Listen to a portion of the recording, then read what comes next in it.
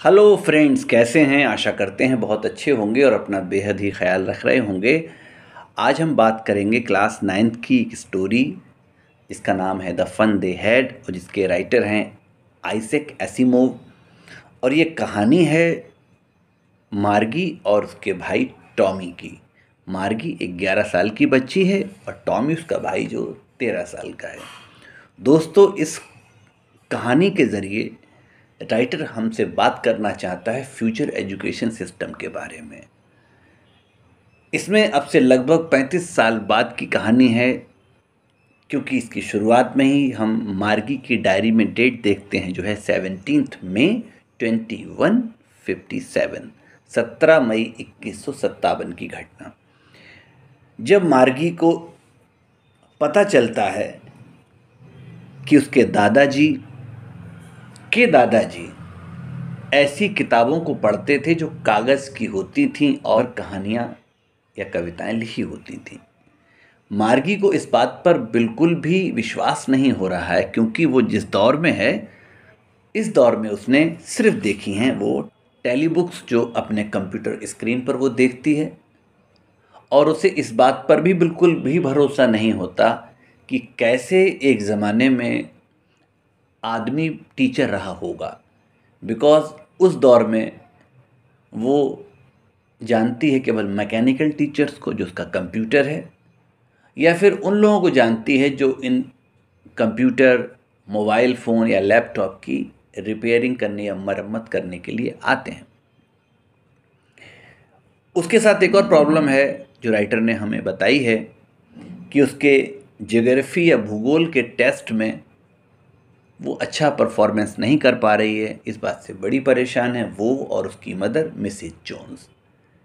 जब एक expert mechanic आता है और उस कंप्यूटर को ठीक कर देता है और जाते जाते बताता है कि, मैम, इसमें मार्गी की कोई गलती नहीं है, क्योंकि जो सिस्टम था उसमें कुछ प्रॉब्लम आई और इस वजह से उसकी स्पीड मार्गी की एज की और स्किल के अकॉर्डिंग कहीं ज़्यादा थी, इसीलिए वो अच्छा परफॉर्मेंस नहीं कर रही थी।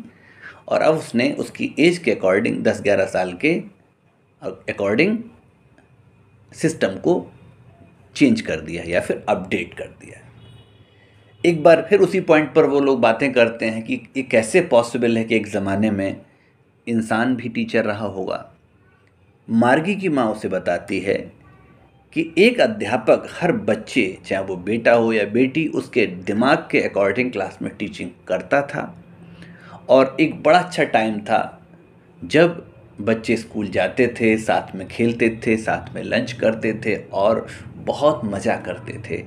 लेकिन टाइम बदलने से ये चीज़ें अब पुरानी या आउटडेटेड हो गई हैं।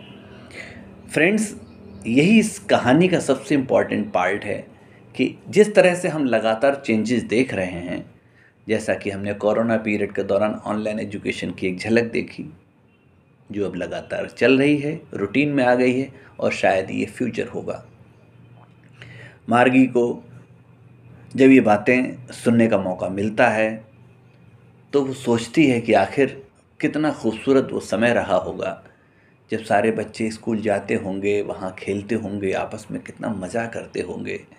साथ में लंच शेयर करते होंगे जैसे आप लोग कर रहे हैं। इसी बात को सोचकर वो आखिर में यही सोचती है द फन दे हैड कितने खुशनसीब वो लोग रहे होंगे, जिन्हें स्कूल कॉलेजेस में इतना मज़ा करने का और इतने अच्छे से पढ़ने का मौका मिला होगा। सो so फ्रेंड्स यही है इस कहानी का सारांश। आपको कैसा लगा? अच्छा लगा तो लाइक करें शेयर ज़रूर करें और सब्सक्राइब करें संजीव गोस्वामी। Bye.